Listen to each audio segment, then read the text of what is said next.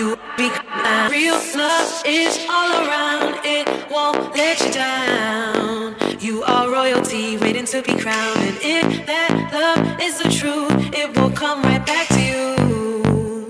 It's beautiful inside of you, it's all that.